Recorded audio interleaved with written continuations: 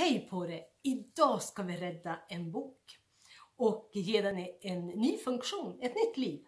Och för det behöver du naturligtvis en bok, linjal, en kniv och penna, pensel och någon typ av lim.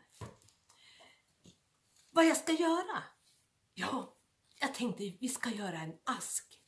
Eh, då kan de tro att det är en bok fast du kan ha en ask hemliga saker kan ligga där. Vad gör vi då? Vi börjar med att ta en linjal naturligtvis och sen lägger vi den så att från kant till kant här så ritar vi ett streck. Så gör vi likadant här, rita streck. Och sen utgår vi från mitten och sen tar man ett mått här som man tycker är bra. Här tog jag 5,5 cm för att jag kan inte ta något större för sidan är så liten. Så mäter jag det på alla de här fyra strecken.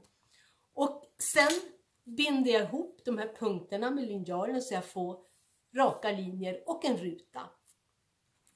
Och det är nu, förutom de här verktygen, som du ska plocka fram någonting annat också. Och det är tålamodet. För det tar en liten stund att skära. Får du inte använda kniv? Ja, men du ber någon som får göra det att hjälpa dig. Det kallas för att samarbeta. Ni gör någonting tillsammans.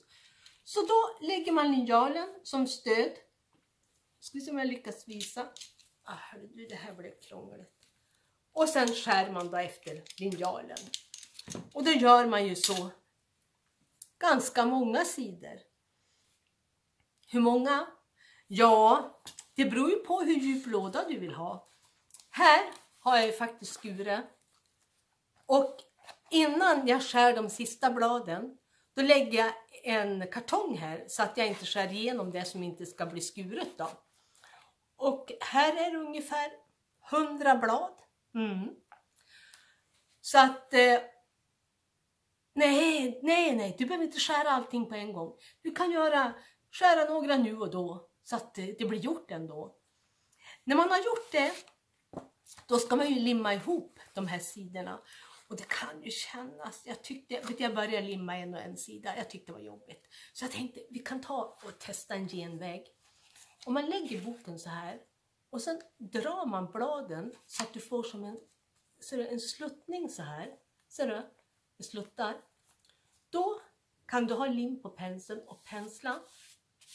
Och sen ser du till att styra tillbaka dem innan limmet torkar ganska fort. Och sen lägger du någon tyngd här på och sedan efter det så kan man ju ta och stryka lite runt om så här på sidorna. Och när man har gjort det och det har torkat, då ska du få se vad som händer. För här är en annan bok som jag också har börjat jobba med. Då blir det så här. Hur många det sidor? Vet du, här är det 250 sidor. Ja, i alla fall. Vad säger du? Tyckte inte att det blev något snyggt? Nej, men vet du vad? Den är ju inte klar. Nej, nej jag ska dekorera den här men jag har inte bestämt hur. Ska det vara tyg? Ska det vara något snyggt i papper? Jag vet inte än. Men jag tänkte jag ska visa det sen. Jag lägger ut ett foto för att se vad som blev. Men du ser, det här omslaget är fantastiskt fint. Behöver inte dekorera. Däremot det här. Mm, visst håller du med? Inte kanske sådär joho! Utan det här blev lite vackrare då tycker jag. För då har jag klistrat på ett papper. Så nu håller det på att torka, så sen ska jag vika in kanterna så här då och klistra fast dem. Ni vet när man skär så här, de här lapparna som blir, nej nej, de slänger du inte, de sparar du för de kan man göra andra saker av. Och sen ibland kanske man måste justera lite här inne i kanten och då blir det sånt här böss som man säger. Nej, om du får slänga det. Nej, vet du vad du gör? Du bara trä ihop det till en liten boll så här. Knusa ihop det så här. Och så tar du lite tråd runt omkring, sytråd som knappt syns. Och titta, då har vi en dekoration. Ser ut som en liten snöboll som kan hänga i granen. Så överraska någon nu med, de tror de får en bok och sen har de fått ett fint, vackert, praktiskt skrin eller ask av det.